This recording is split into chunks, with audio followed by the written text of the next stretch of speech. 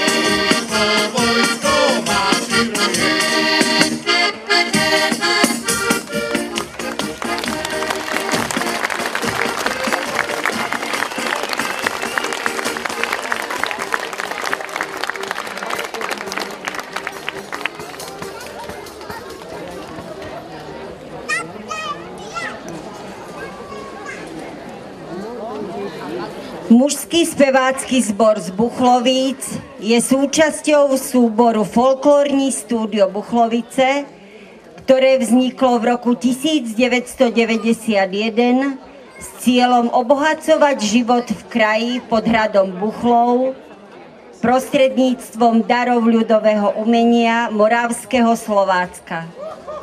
Súbor má aj tanečnú zložku a spolupracuje s cymbalovou muzikou Rubáš.